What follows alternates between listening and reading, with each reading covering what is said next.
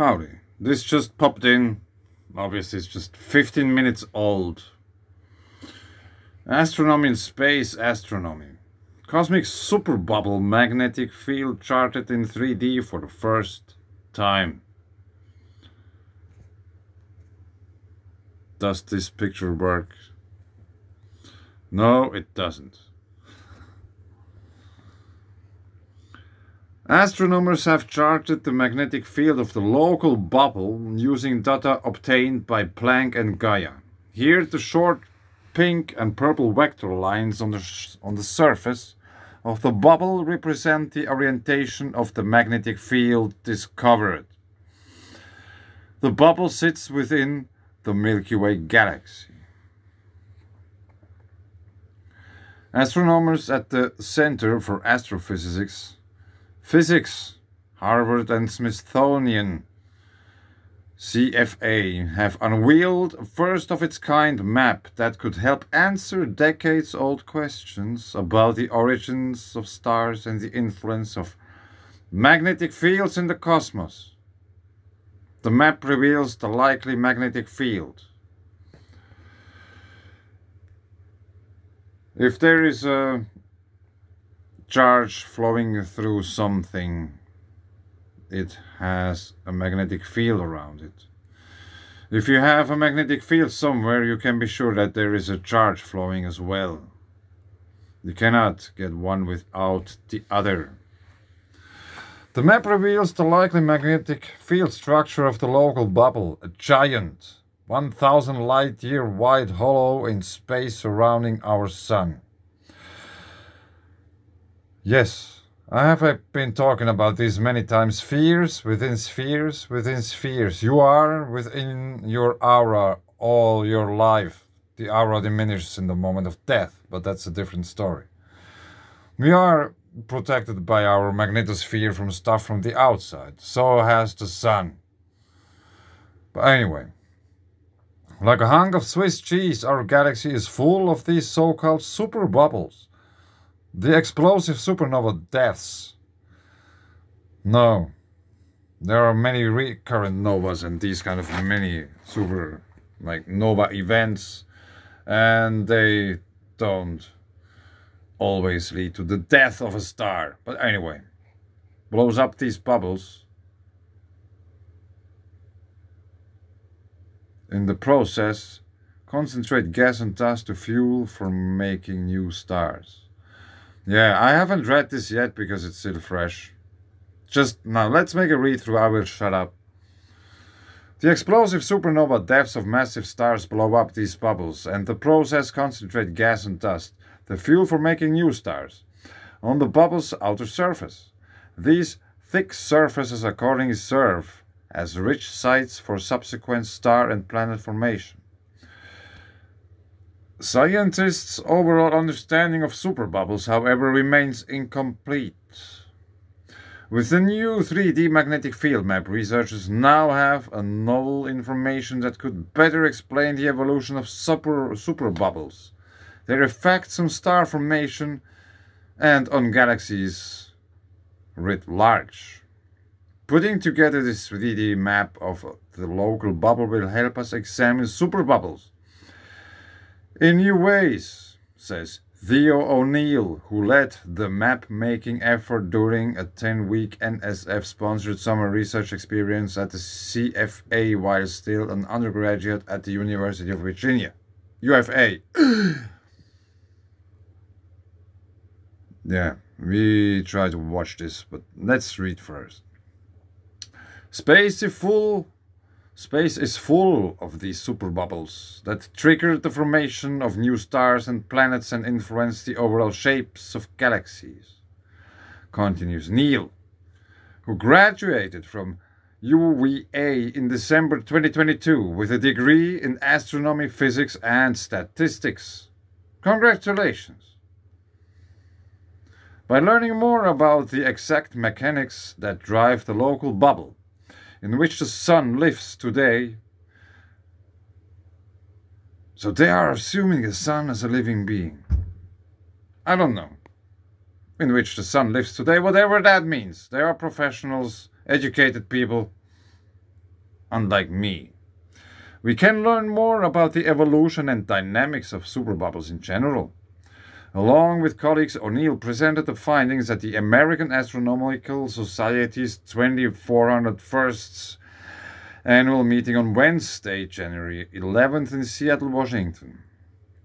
3D interactive figures and preprint of the research are currently available on Authorea.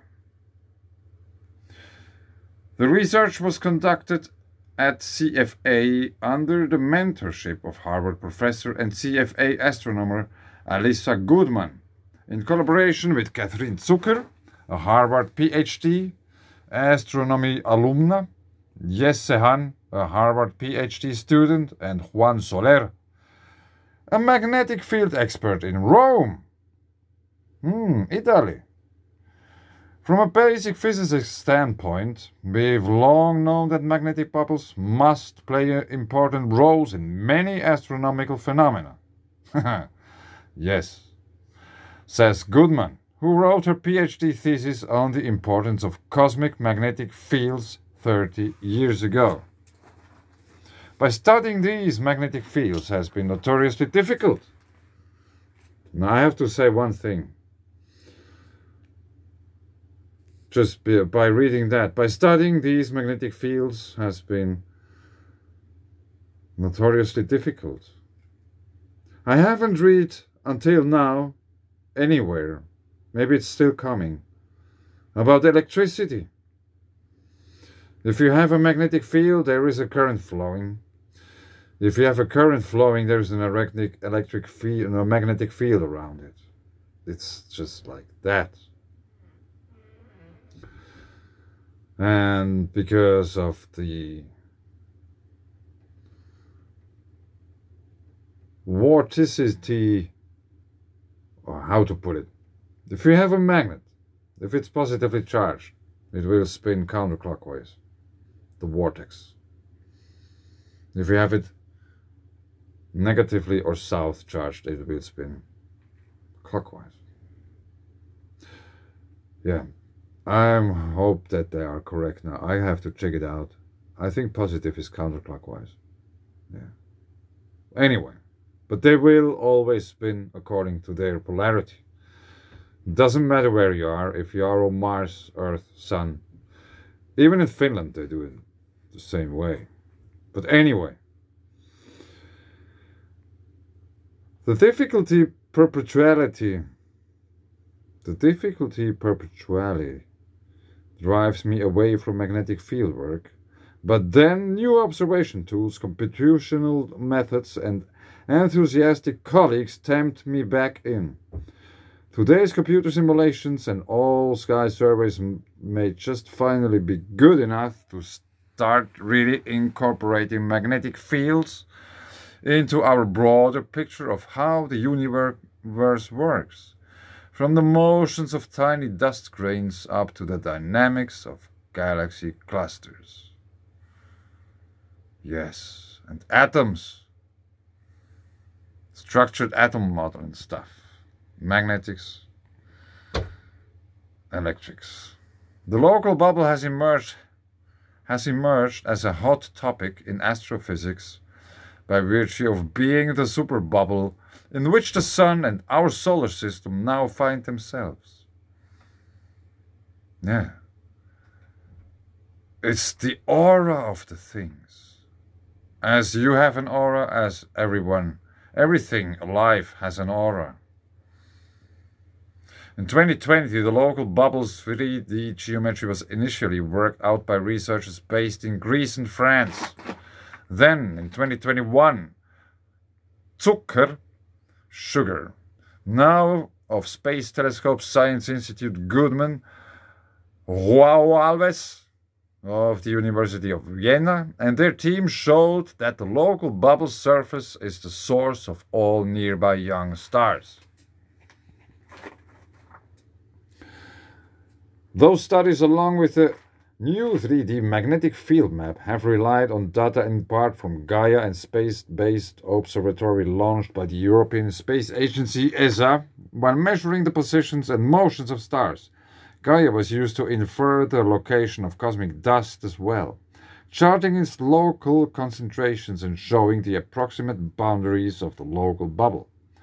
These data were combined by O'Neill and colleagues with data from Planck, another ESA-led space telescope.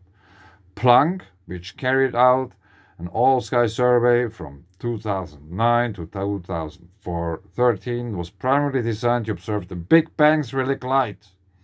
In the process, the spacecraft compiled measurements of microwave length light from all over the sky. Ah, this is when they found more light than there was supposed to be. No, anyway, the researchers used a portion of Planck observations that trace emissions from dust within the Milky Way relevant to helping map the local bubble's magnetic field. Specifically, the observations of interest consisted of polarized light, meaning light that vibrates in a preferred direction. This polarization is produced by magnetically, magnetically aligned dust particles in space. The alignment of the dust in turn speaks to the orientation of the magnetic field acting upon the dust particles.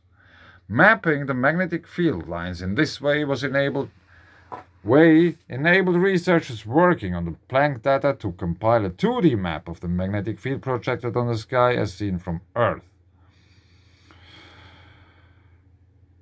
Yes, I have been saying this also many times. I don't like the term magnetic field because it is in a way never 2D. It is always a three-dimensional structure. A bubble, you know? In order to morph or de-project this map into three spatial dimensions, the researchers made two key assumptions. First, the most that the most of the interstellar dust producing the polarization observed lies in the local bubble's surface.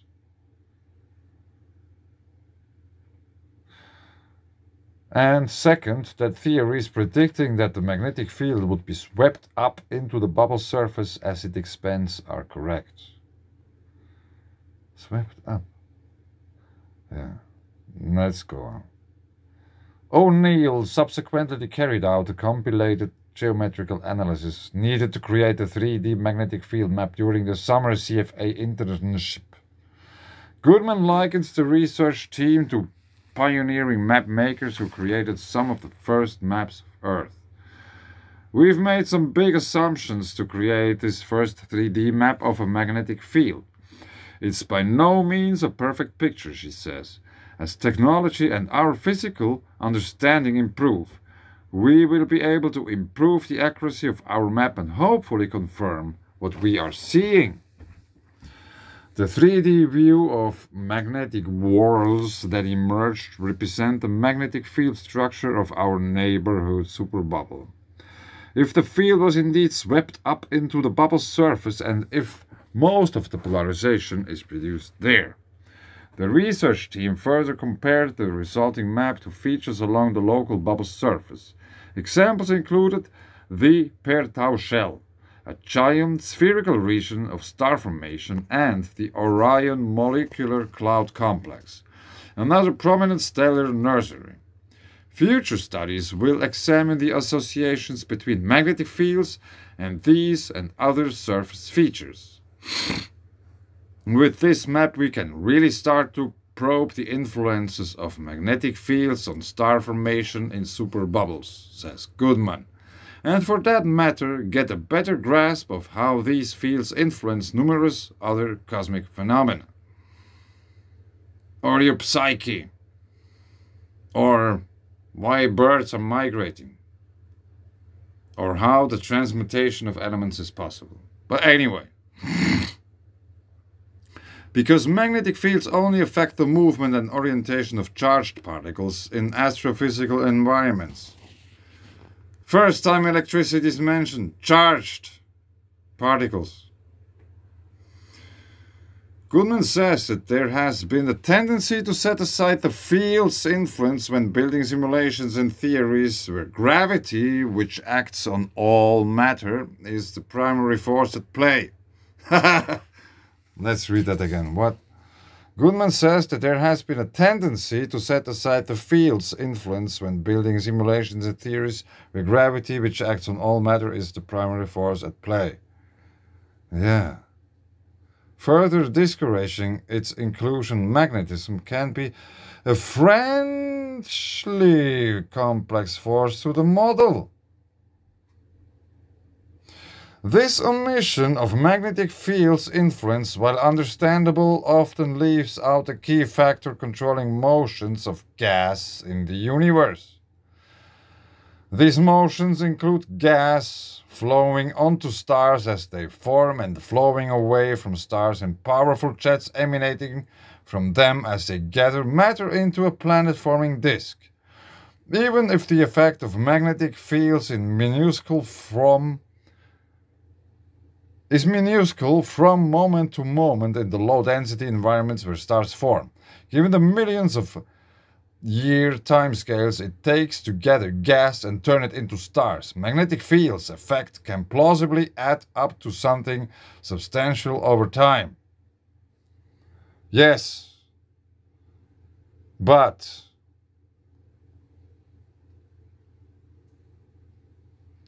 the flowing gas is plasma. Goodman O'Neill and their colleagues look forward to finding out. Yeah. Maybe I have to write them. That's, you know, I'm just some random dude talking to chickens. But that's, that's something like reading. Even I learned about this. How just like, you know, not one single word about electricity about the fact that you don't get a magnetic field without an electrical current and vice versa, which is a universal law. I didn't figure that out. But I understand it. It makes sense. Our DNA is a, basically a vortex, it's chiral in nature.